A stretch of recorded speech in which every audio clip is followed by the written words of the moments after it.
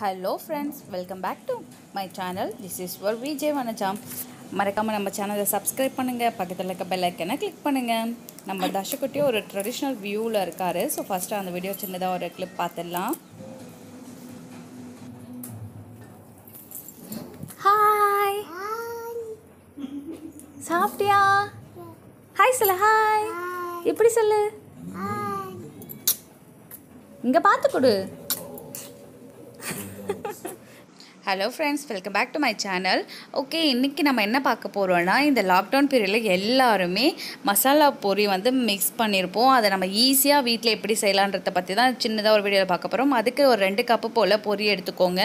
அது தண்ணியில் நம்ம போட்டு லைட்டாக அலசி எடுத்துக்க போகிறோம் இதை வந்து ஊற வைக்கக்கூடாது நம்ம தண்ணியில் அதை அப்படியே கழுவி கழுவி எடுத்துக்கிற மாதிரி வச்சுக்கோங்களேன். ஸோ அதை வந்து லைட்டாக அலசிட்டு வேறு பவுலில் நம்ம ட்ரான்ஸ்ஃபர் பண்ணி வச்சுக்கலாம். ரெண்டு பவுல் போல் பொரி எடுத்துகிட்டு நல்லா அலசணும். கொஞ்சமாக தண்ணி அந்த பொரியில் ஊறினா கூட போதும். ஏன் இந்த மாதிரி ஊற வைக்கிறோன்னா நம்ம போடுற மசாலா எல்லாம் அந்த பொரியில் இறங்குறதுக்காக தான் இதில் லைட்டாக தண்ணியில் அலசி எடுக்கிறோம். ஸோ இந்த மாதிரி தண்ணியில் அலசி எடுத்துகிட்டு வேறு பவுலில் ட்ரான்ஸ்ஃபர் பண்ணி வச்சுக்கலாம். இது ரொம்பவே குயிக் அண்ட் ஈஸியாக நம்ம செய்கிற ஒரு சின்ன டிஷ் தான் இது. இதை போய் கடையில் வாங்கி சாப்பிட்ணுமான்னு தோணுதோ சீரியஸாக இதை நீங்கள் செஞ்சு பார்த்ததுக்கப்புறம் ரொம்ப ஈஸியாகவே செஞ்சிடலாம்.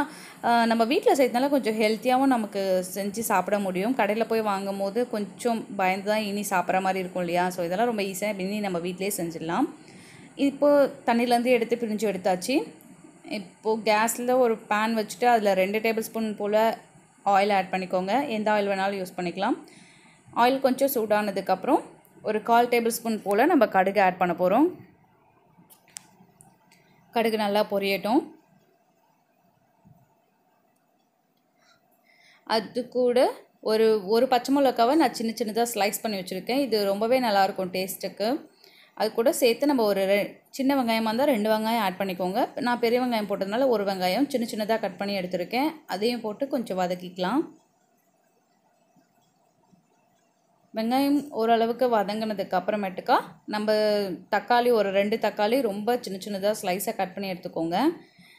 அதையும் சேர்த்து இதோட மிக்ஸ் பண்ணி விட்டுடலாம். வெங்காயம் தக்காளி ஓரளவுக்கு வதங்கின பிறகு நம்ம ஒரு கால் டேபிள் ஸ்பூன் போல் இஞ்சி பூண்டு பேஸ்ட்டு போட்டுக்கோங்க. இது உங்களோட ஆப்ஷனல் தான். இருந்தால் ஆட் பண்ணிக்கலாம் இல்லைனா நோ ப்ராப்ளம் ஸோ இதெல்லாம் நல்லா வதங்கின டைமில் ஒரு தேவைக்கேற்ப உப்பு ஆட் பண்ணிக்கோங்க. இது ரொம்ப ஈஸியாகவே செஞ்சிட முடியும். குழந்தைங்களுக்குலாம் ரொம்பவே பிடிக்கும். சீரியஸாக இதை நீங்கள் செஞ்சு கொடுக்கும் போது இப்போ இந்த டைமில் நான் வந்து தனி மிளகாய் தூள் ஆட் பண்ணுறேன் உங்கள் காரத்துக்கு ஏற்ற மாதிரி ஆட் பண்ணிக்கலாம். குழந்தைங்க கொடுக்குறது இருந்தால் கொஞ்சம் காரம் கம்மியாக ஆட் பண்ணிக்கோங்க. நம்ம சப் பெரியவங்க சாப்பிட்ற மாதிரினா கொஞ்சம் அதிகமாகவே ஆட் பண்ணிக்கலாம். இதோட சீக்ரெட் இன்க்ரீடியன்ட் பார்த்திங்கன்னா இந்த மாதிரி சிக்கன் மசாலா வந்து ஒரு ஒரு டேபிள் ஸ்பூன் போல் ஆட் பண்ணிக்கோங்க. அந்த ஸ்மெல் அப்புறம் அந்த டேஸ்ட் நமக்கு எக்ஸ்ட்ராவே கொடுக்கும். ஸோ அதனால் நல்லாயிருக்கும். சிக்கன் மசாலா ஒரு ஒரு டேபிள் ஸ்பூன் போல் ஆட் பண்ணிக்கோங்க. மசாலா எல்லாம் வெங்காயம் தக்காளியெலாம் நல்லா வதங்குற மாதிரி பார்த்துட்டு நம்ம லைட்டாக அலசி வச்சுருக்கோம் இல்லையா பொரி அந்த பொரியை இப்போ இதோட ஆட் பண்ண போகிறோம் ஆட் பண்ணிவிட்டு மசாலா எல்லாம் அந்த பொரியில் ஒட்டுற மாதிரி நல்லா கலரை விடுங்க.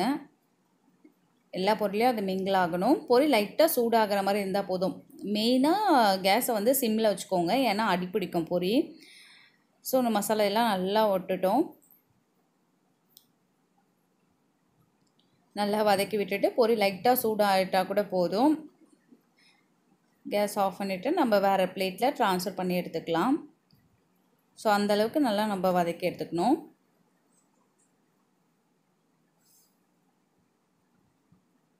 இப்போ பார்த்தீங்கன்னா தெரியும் மசாலா எல்லாமே பொருள் நல்லாவே ஜாயிண்ட் ஆகிடுச்சு இப்போ நம்ம பிளேட்டில் மாற்றிக்கலாம் ஓகே ஃப்ரெண்ட்ஸ் பாருங்கள் எவ்வளோ டேஸ்ட்டாக அண்டு அந்த ஸ்மெல்லே சூப்பராக இருந்துச்சு. அந்த மசாலா பொரியும் உங்களுக்கு அப்படியே ஞாபகப்படுத்துகிற மாதிரி தான் இருக்கும். நீங்கள் இதை வீட்டில் செஞ்சு பாருங்கள் மறைக்காமல் உங்கள் வீட்டில் இருக்க சில்ட்ரன்ஸ்க்கெல்லாம் இது ரொம்பவே பிடிக்கும். நீங்கள் ஃப்ரீயாக இருக்க டைமில் ஈவினிங் டைமில் ஒரு ஸ்நாக்ஸ் மாதிரி கூட இதை நீங்கள் செஞ்சு குழந்தைங்களுக்கு கொடுக்கலாம். ஸோ பாருங்கள் நான் ஸ்பூன் எடுத்து காட்டுறேன். எவ்வளோ சூப்பராக இருக்குன்ட்டு.